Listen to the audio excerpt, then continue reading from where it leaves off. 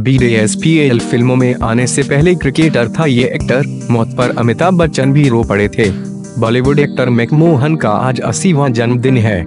McMahon का जन्म आज ही के दिन साल 1938 को कराची में हुआ था। मैकमोहन अधिकतर फ़िल्मों में विलेन के किरदार में ही नज़र आए हैं। फ़िल्म शोले में सांबा का किरदार निभाकर मैकमोहन ने प्रसिद्धि हासिल की थी। गौरतलब है कि वह जानी मानी एक ट्रेस रवीना टंडन के मामा थे। मैकमोहन का असली नाम मोहन माखी जानी है। उनके पिता भारत में ब्रिटिश आर्मी में कर्नल थे। मैकमोहन को बचपन से ही क्रिकेट का शौक था और वे क्रिकेटर बनना चाहते थे। साल 1940 में उनके पिता का ट्रांसफ़र कराची से लखनऊ हो गया। फिर मैकमोहन की शुरुआती पढ़ाई लखनऊ में ही हुई। एक इंटरव्यू में मैकमोहन ने बताया था कि उन्होंने उत्तर प्रदेश की क्रिकेट टीम के लिए भी खेला था। फिर एक वक्त ऐसा भी आया जब उन्होंने तय कर लिया कि अब उन्हें क्रिकेटर बनना ही है।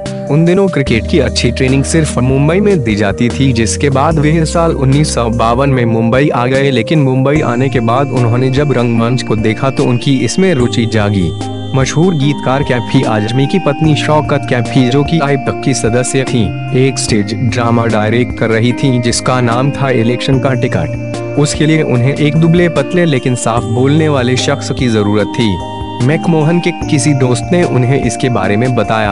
उन्हें पैसों की ज़रूरत थी, लिहाजा सिर्फ़ थोड़े बहुत पैसे कमाने के लिए उन्होंने शौकत कैफी से नाटक में काम मांगने के लिए मुलाकात की और यहीं से मैकमोहन का एक्टिंग करियर शुरू हो गया।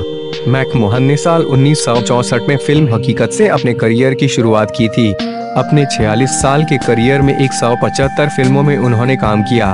उन्हें अपने दौर के सभी बड़े फ़िल्म डायरेक्टर्स ने काम दिया। डॉन कर्ज, सत्य पे सत्ता, काला पत्थर। रफू चक्कर शान और शोले जैसी फ़िल्मों में उनका काम बेहद सराहा गया। उन्होंने अमिताभ बच्चन के साथ काफ़ी फ़िल्मों में काम किया। नवंबर 2010 में जब मैकमोहन अतिथि तुम कब गाओगे की शूटिंग कर रहे थे तो उनकी तबीयत खराब हुई।